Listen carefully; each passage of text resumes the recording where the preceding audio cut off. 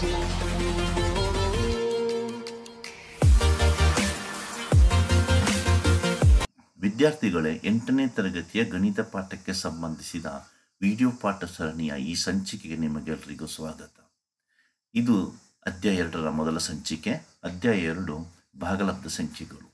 ನಾವಿಂದು ಈ ಭಾಗಲಬ್ಧ ಸಂಖ್ಯೆಗಳ ಪಾಠದಲ್ಲಿ ಯಾವೆಲ್ಲ ಕಲಿಕಾಂಶಗಳನ್ನು ಕಲೀಲಿಕ್ಕಿದೆ ಎಂಬ ಬಗ್ಗೆ ನೋಡೋಣ. ಪೀಠಿಕೆ, ಆವೃತ್ತತೆ ಪರಿವರ್ತನೀಯ ನಿಯಮ, ಸಹವರ್ತನೀಯ ನಿಯಮ, ಭಾಗಲಬ್ಧ ಸಂಖ್ಯೆಗಳ ವಿತರಣಾ ನಿಯಮ, ಎರಡು ಸಂಖ್ಯೆಗಳ ನಡುವಿನ ಭಾಗಲಬ್ಧ ಸಂಖ್ಯೆಗಳು, ಭಾಗಲಬ್ಧ ಸಂಖ್ಯೆಗಳನ್ನು ಸಂಖ್ಯಾ ರೇಖೆಯ ಮೇಲೆ ಗುರುತಿಸುವುದು, ಸೊನ್ನೆ ಮತ್ತು ಒಂದರ ಪಾತ್ರ, ಋಣಾತ್ಮಕ ಸಂಖ್ಯೆಗಳು ಮತ್ತು ಯುತ್ಕ್ರಮಗಳು ಇಷ್ಟು ಕಲಿಕಾಂಶಗಳನ್ನು ನಾವು ಈ ಪಾಠದಲ್ಲಿ, ಈ ಅಧ್ಯಾಯದಲ್ಲಿ ಕಲೀಲಿಕ್ಕಿದೆ. ಈ ಒಂದು ಸಂಚಿಕೆಯಲ್ಲಿ ನಾನು ಕೇವಲ ಪೀಠಿಕೆಯ ಬಗ್ಗೆ ಮಾತ್ರ ಸ್ವಲ್ಪ ಪ್ರಸ್ತಾಪಿಸ್ತಾ ಇದ್ದೇನೆ. ಉಳಿದಂತೆ ಉಳಿದ ವಿಡಿಯೋ ಸಂಚಿಕೆಗಳಲ್ಲಿ ತಿಳಿಸಲಿಕ್ಕೆ ಪ್ರಯತ್ನ ಪಡ್ತೇನೆ. ವಿದ್ಯಾರ್ಥಿಗಳೇ, ಇಲ್ಲಿ ನಾನು ಒಂದು ಸಮೀಕರಣವನ್ನು ತೆಗೆದುಕೊಳ್ತಾ ಇದ್ದೀನಿ. ರೇಖಾತ್ಮಕ ಸಮೀಕರಣ ನಿಮ್ಗೆ ಗೊತ್ತಿದೆ. ಒಂದು ಚರ ಅಕ್ಷರ ಅವ್ಯಕ್ತ ಪದ ಬಂದಂತಹ ಸಮೀಕರಣವನ್ನು ರೇಖಾತ್ಮಕ ಸಮೀಕರಣ ಅಂತ ಕರೀತಾರೆ. ಇದನ್ನು ಬಿಡಿಸೋದು ಹೇಗೆ? ಎಕ್ಸ್ಗೆ ಎರಡು ಕೂಡಿಸಿದಾಗ ಹದಿಮೂರು ಬಂದರೆ ಎಕ್ಸಿನ ಬೆಲೆ ಎಷ್ಟು? ಸುಲಭದಲ್ಲಿ ನಿಮಗೆ ಹೇಳಬಹುದು. ಎಕ್ಸಿಗೆ ಎಕ್ಸ್ ಸಮ ಹದಿಮೂರು ಕಳೆ ಎರಡು, ಅಂದರೆ ಎಕ್ಸ್ ಸಮ ಹನ್ನೊಂದಾಯಿತು ಈ ಹನ್ನೊಂದು ಅನ್ನುವ ಉತ್ತರ ಬಿಡಿಸಬೇಕು ಅಂತಂದರೆ ಒಂದು ಗಣದಲ್ಲಿರಬೇಕು ಅದು ಸ್ವಾಭಾವಿಕ ಸಂಖ್ಯೆಗಳ ಗಣದಲ್ಲಿ ನೀವು ನೋಡಿದರೆ ಹನ್ನೊಂದು ಇದೆ. ಏಕೆಂದರೆ ಎನ್ ಸಮ ಒಂದು, ಎರಡು, ಮೂರು, ಅಂದರೆ ಒಂದರಿಂದ ಆರಂಭಗೊಂಡಂತಹ ಎಲ್ಲ ಸಂಖ್ಯೆಗಳು ಸ್ವಾಭಾವಿಕ ಸಂಖ್ಯಾ ಗಣದಲ್ಲಿ ಬರ್ತದೆ. ಆದ್ದರಿಂದ ಈ ಸಮೀಕರಣವನ್ನು ಸ್ವಾಭಾವಿಕ ಸಂಖ್ಯೆಗಳ ಗಣದಲ್ಲಿ ಬಿಡಿಸಲಿಕ್ಕಾಗುತ್ತದೆ ಇನ್ನೊಂದು ಸಮೀಕರಣವನ್ನು ಗಮನಿಸಿ, ವಿದ್ಯಾರ್ಥಿಗಳೇ. ಎಕ್ಸ್ ಪ್ಲಸ್ ಐದು ಸಮ ಐದು. ಇಲ್ಲಿ ಎಕ್ಸ್ಗೆ ಐದು ಸೇರಿಸಿದ್ರೆ ಐದಾಗುತ್ತೆ. ಹಾಗಾದರೆ ಎಕ್ಸ್ನ ಬೆಲೆ ಎಷ್ಟು? ಊಹಿಸ್ಬೋದು ಬಿಡಿಸುವಾಗ ಎಕ್ಸ್ ಸಮ ಐದು ಕಳೆ ಐದು. ಅಂದರೆ ಎಕ್ಸ್ನ ಬೆಲೆ ಸೊನ್ನೆ ಆಯಿತು ಇಲ್ಲಿ ನಮಗೆ ಸಮಸ್ಯೆ ಆಯಿತು. ಏಕೆಂದರೆ ಸ್ವಾಭಾವಿಕ ಸಂಖ್ಯೆಗಳಲ್ಲಿ ಸೊನ್ನೆ ಇಲ್ಲ. ಆದ್ದರಿಂದ ಸ್ವಾಭಾವಿಕ ಸಂಖ್ಯೆಗಳನ್ನು ಇಟ್ಕೊಂಡು ಈ ಸಮೀಕರಣ ಬಿಡಿಸ್ಲಿಕ್ಕಾಗಲ್ಲ. ಆಗ ನಮಗೆ ಇನ್ನೊಂದು ಸಂಖ್ಯಾಗಣದ ಅವಶ್ಯಕತೆ, ಸೊನ್ನೆ ಇರತಕ್ಕಂತಹ ಒಂದು ಸಂಖ್ಯಾಗಣದ ಅವಶ್ಯಕತೆ ಬಂತು. ಅದೇ ಪೂರ್ಣ ಸಂಖ್ಯೆಗಳು. ಪೂರ್ಣ ಸಂಖ್ಯೆಗಳು ಡಬ್ಲ್ಯೂ ಎಂಬ ಸಂಕೇತದಿಂದ ನಾವು ಸೂಚಿಸ್ತೇವೆ. ಇಲ್ಲಿ ಸೊನ್ನೆ ಸೇರಿಕೊಂಡಿದೆ. ಸ್ವಾಭಾವಿಕ ಸಂಖ್ಯಾ ಗಣಕ್ಕೆ ಸೊನ್ನೆ ಸೇರಿದರೆ ಅದು ಪೂರ್ಣ ಸಂಖ್ಯೆಗಳ ಗಣ ಆಯಿತು. ಈ ಸಮೀಕರಣ ಬಿಡಿಸಲಿಕ್ಕೆ ಈ ಒಂದು ಗಣದಲ್ಲಿ ಆಗುತ್ತೆ, ಪೂರ್ಣ ಸಂಖ್ಯೆಗಳ ಗಣದಲ್ಲಿ. ವಿದ್ಯಾರ್ಥಿಗಳ, ಇನ್ನೊಂದು ಸಮೀಕರಣ ನಿಮ್ಮ ಮುಂದೆ ಹೇಳ್ತಾ ಇದ್ದೇನೆ. ಎಕ್ಸ್ ಪ್ಲಸ್ ಹದಿನೆಂಟು ಸಮ ಐದು. ಇಲ್ಲಿ ಎಕ್ಸ್ನ ಬೆಲೆ ಕಂಡುಹಿಡಬೇಕಿದ್ರೆ ಎಕ್ಸ್ ಸಮ ಹದಿ ಐದು ಮೈನಸ್ ಹದಿನೆಂಟು, ಕಳೆ ಹದಿನೆಂಟು ಆಯಿತು.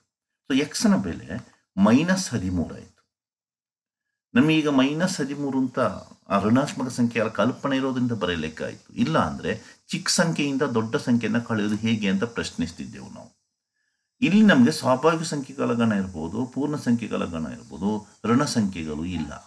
ಆದ್ದರಿಂದ ಈ ಸಮೀಕರಣವನ್ನು ಈ ಎರಡು ಗಣದಲ್ಲಿ ಬಿಡಿಸ್ಲಿಕ್ಕಾಗಲ್ಲ. ಆಗ ನಮಗೆ ಇನ್ನೊಂದು ಗಣದ ಅವಶ್ಯಕತೆ ಬಂತು, ಅದು ಪೂರ್ಣಾಂಕಗಳು.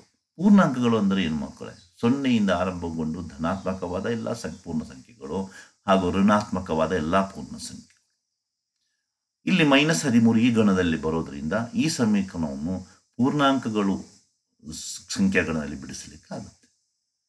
ವಿದ್ಯಾರ್ಥಿಗಳೇ, ಮುಂದಕ್ಕೆ ಗಮನಿಸಿ. ಐದು ಎಕ್ಸ್ ಪ್ಲಸ್ ಏಳು ಸಮ ಸೊನ್ನೆ, ಐದು ಎಕ್ಸ್ ಸಮ ಮೈನಸ್ ಏಳು ಆಯಿತು. ಎಕ್ಸ್ ಸಮ ಮೈನಸ್ ಏಳು ಭಾಗಿಸು ಐದು. ಇದು ಈ ರೀತಿಯ ಸಂಖ್ಯೆ ಇಲ್ಲೆಲ್ಲೂ ಬಂದಿಲ್ಲ. ಈ ಸಂಖ್ಯೆ ಎನ್ ಅಲ್ಲಾಗಲಿ ಡಬ್ಲ್ಯೂ ಅಲ್ಲಾಗಲಿ ಝಡ್ ಅಲ್ಲಾಗಲಿ ಇಲ್ಲ. ಆದ್ದರಿಂದ ಈ ಸಮೀಕರಣ ಬಿಡಿಸೋದು ಹೇಗೆ? ಅಥವಾ ಬಿಡಿಸಬೇಕಿದ್ರೆ ಇನ್ನೊಂದು ಸಂಖ್ಯಾಗಣದ ಅವಶ್ಯಕತೆ ನಮಗಿದೆ. ವಿದ್ಯಾರ್ಥಿಯಲ್ಲಿ ಭಾಗಲಬ್ಧ ಸಂಖ್ಯೆಗಳು ಅದು ಉದ್ಭವ ಆಗ್ತದೆ. ಭಾಗಲಬ್ಧ ಸಂಖ್ಯೆಗಳು ಅಂದರೆ ಏನು? ಎ ಭಾಗಿಸು ಬಿ ರೂಪ ಅಥವಾ ಪಿ ಭಾಗಿಸು ಕ್ಯೂ ಅಂತ ಬರೀತಾರೆ. ಎ ಭಾಗಿಸು ಬಿ ನಾವು ಹಿಂದೆ ನೋಡಿದ್ದೀವಿ, ಭಿನ್ನರಾಶಿಗಳನ್ನು. ಆ ಥರ ಇರುತ್ತೆ. ಒಂದು ಅಂಶ ಮತ್ತು ಛೇದ ಇದ್ದ ಹಾಗೆ ಎ ಭಾಗಿಸು ಬಿ ರೂಪದಲ್ಲಿ. ಆದರೆ ಇಲ್ಲೊಂದು ನಿಯಮ ಇದೆ. ಬಿ ಸಮ ಸೊನ್ನೆ ಆಗಿರಲೇಬಾರ್ದು.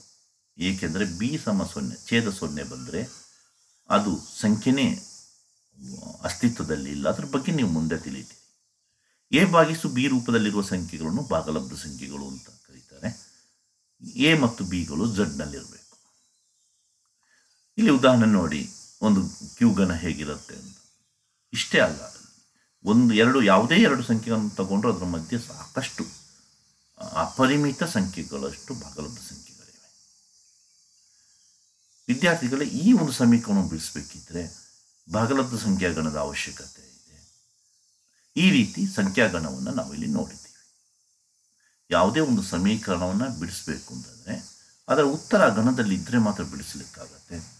ಆದ್ದರಿಂದ ಈ ಒಂದು ಪಾಠದಲ್ಲಿ ಮತ್ತಷ್ಟು ಭಾಗಲಬ್ಧ ಸಂಖ್ಯೆಗಳ ಬಗ್ಗೆ ನಾವು ತಿಳಿದುಕೊಳ್ಳುತ್ತಿದ್ದೇವೆ. ಮುಂದಿನ ಸಂಚಿಕೆಯಲ್ಲಿ ಮತ್ತೆ ಭೇಟಿಯಾಗೋಣ. ಧನ್ಯವಾದಗಳು.